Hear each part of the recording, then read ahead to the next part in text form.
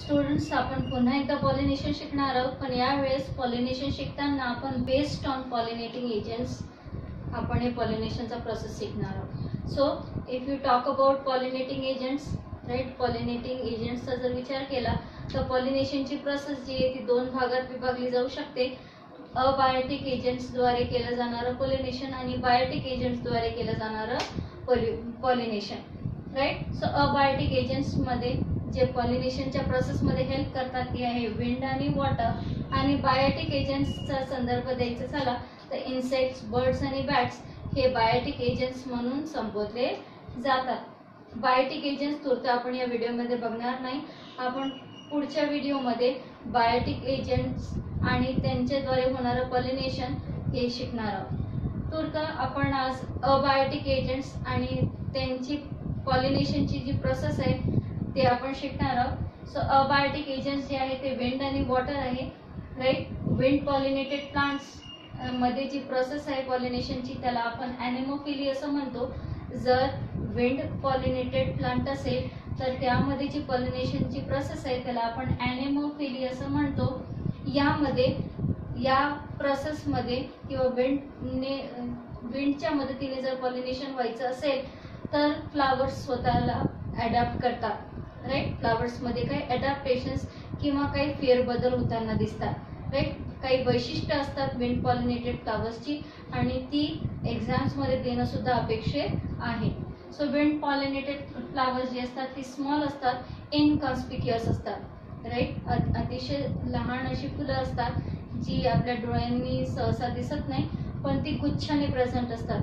Inflorescence या पद्धतीने present असतात म्हणून आपल्याला ती दिसतात. Right so they are small and inconspicuous very very small right त्यांच्याकडे नेक्टर आणि फ्रेग्रन्स नसतो त्यांच्याकडे गोड पदार्थ जो फुलांमध्ये नॉर्मली पाहायला मिळतो तो इथे पाहायला मिळत नाही त्यांच्याकडे सुवास नसतो. कारण या सगळ्यांची गरज त्यांना भासत नाही कारण विंडला नेक्टर आणि फ्रेग्रन्स फ्रेग्रन्स विंडला कळत नाही आणि नेक्टर विंड घेणार नाही. राईट सो ही जी याच्यामध्ये असणारी या फुलांमध्ये असणारे जे पोलन ग्रेस असतात ते वजनाने अतिशय हलके असतात लाइट इन वेट असतात आणि ती ड्राय असतात. Pollens are produced in large numbers pollen grains जी आहे ती भरपूर प्रमाणात तयार केली जातात. कारण वारा वाहून नेत असेल तर वारा थांबला तर पोलन ग्रेन्स वाऱ्यासोबत ज्या ठिकाणी आहेत त्या ठिकाणीच पडतील. या प्रोसेसमध्ये वाऱ्याने पॉलिनेशनच्या प्रोसेसमध्ये बरेचसे पोलन ग्रेन्स वाया जातात. सो त्या वेस्टला कॉम्पन्सेट करण्यासाठी ही जी फुलं असतात ती भरपूर प्रमाणात पोलन ग्रेन्स तयार करतात. राईट मग ह्या फुलांमध्ये हवेतनं येणारे पोलन ग्रेन्स कॅच करण्यासाठी त्यांचे जे स्टिग्माज असतात ते फेदरी असतात.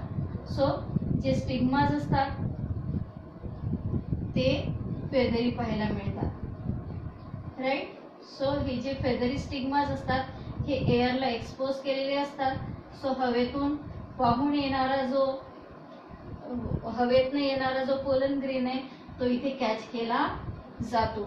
सो फेदरी स्टिग्माज असतात आणि यांच्यामध्ये जे अँथर्स असतात त्यांची जी फिलामेंट आहे ती जास्त लांब असते. म्हणजे त्या फिलामेंटमुळे तो अँथर जो आहे तो फुलाच्या बाहेर येतो आणि अँथर्स कसे असतात?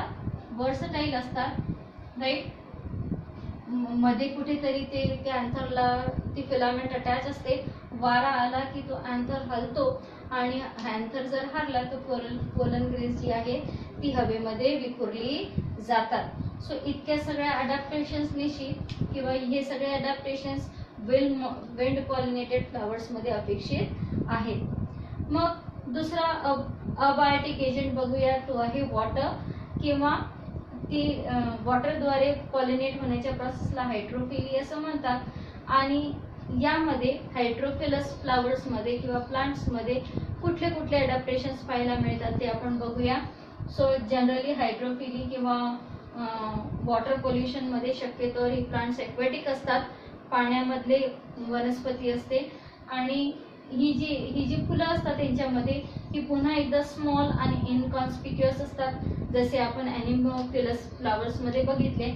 राईट पेरियंथ किंवा फ्लावरचे जे पार्ट्स असतात ते नॉन वेटेबल असतात. राईट पेरियंथ म्हणजे जर फुलाला करोला नसेल पाकळ्या नसतील तर त्या ठिकाणी पाकळ्यांसारखाच सदृश असे पार्ट्स असतात ज्याला आपण पेरियंथ म्हणतो. आणि पेरियंत आणि फ्लावरचे बाकीचे जे सगळे पार्ट्स असतात ती ओली न होणारी पार्ट्स असतात. म्हणजे ही फुलं जी आहेत ती पाल्यामध्ये ओली होत नाहीत. आणि ओली होत नाहीत तर डिस्ट्रॉय आणि डिकम्पोज देखील होणार नाहीत. पोलन ग्रेन्सच्या अवतीभोवती म्युसेलेसचा लेअर असतं म्युसेलेसचा हा चिकट पदार्थ आहे. तो पोलन ग्रेन्सला कव्हर करतो आणि त्यामुळे पोलन ग्रेन्स जी आहेत ती ओली होत नाहीत ते या फुलांमध्ये पुन्हा एकदा नेक्टर आणि फ्रेग्रन्स पाहायला मिळत नाही. काही फुलांना जर अपवाद ठरवलं तर बाकीच्या फुलांमध्ये नेक्टर आणि फ्रेग्रन्स आढळत नाही. राईट हायड्रोफिलस फ्लावर प्लांट जी आहे ते पुन्हा दोन कॅटेगरीमध्ये मोडतात. आणि ती आहे hydrophily that is hypohydrophily right hypohydrophily म्हणजे pollination below the surface of the water होतं. पाण्याच्या सरफेसच्या खाली पॉलिनेशन होतं. आणि अशा पॉलिनेशनच्या प्रोसेसला हायपोहायड्रोफिली असं म्हणतात. आणि हे जे पोलन ग्रेन्स असतात या प्लांट्समध्ये या एक्वेटिक प्लांट्समध्ये जे पोलन ग्रेन्स असतात ते हेवी असतात आणि ते पाण्यामध्ये सिंक करतात. खाली पाण्यामध्ये खाली जातात वजनदार असल्यामुळे. आणि ते वजन खाली गेल्यामुळे जी फिमेल फ्लावर्स असतात ती पाण्याच्या खाली असतात. आणि फिमेल फ्लावरची जे स्टिग्मा आहेत ती या पोलन ग्रेन्सला पकडतात. राईट जसं वॉटर ग्रास असेल सोयस्टर हे त्याचं एक्झाम्पल आहे. ज्याच्यामध्ये तो जो स्टिग्मा असतो तो जो पोलन ग्रेन असतो तो थ्रेड लाईक स्ट्रक्चर असतो. आणि मग तो त्या स्टिग्मा भोवती कोईल होतो.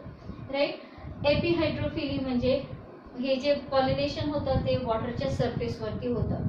म्हणजे पोलन ग्रेन्स जे आहे ते पाण्यावरती फ्लोट करतात. म्हणजे पोलन ग्रेन्सचं जे स्पेसिफिक ग्रॅव्हिटी आहे ती वॉटरच्या इक्विबॅलंट असते आणि म्हणूनच पोलन ग्रेन्स जे आहेत ते पाण्याच्या वरती तरंगतात. मात्र फिमेल फ्लावर जी असतात ती पाण्याच्या खाली असतात आणि जेव्हा पोलन ग्रेन्स जी आहेत ती अँथर्स मधनं रिलीज होतात तेव्हा हे जे फिमेल फ्लावर्स आहेत तात्पुरती जी आहे ती त्यांचा जो स्टिग्मा आहे तो पाण्याच्या वरती येतो. आणि पाण्यावर असणारे जे पोलन ग्रेन्स आहेत त्यांना तो रिसीव करतो. सो हे झाले अबायोटिक फॅक्टर्स किंवा अबायोटिक पॉलिनेटिंग एजंट्स ज्यामुळे जे पॉलिनेशनची प्रोसेस आहे ती दोन भागात विभागली जाते अॅनिमोफिली आणि हायड्रोफिली हायड्रोफिलीचे पुन्हा दोन पार्ट्स येतात. हायपोहायड्रोफिली आणि एपिहायड्रोफिली स्टुडंट्स एक्झाम्समध्ये हे प्रश्न विचारले जातात की explain epihydrophily explain hypohydrophily explain hydrophilous type of pollination explain anemophily आणि प्रॅक्टिकलचा सुद्धा हा पार्ट आहे. म्हणून याकडे हे वाचत असताना त्याच्यातली बारकावे वाचावे अशी अपेक्षा. Thank you.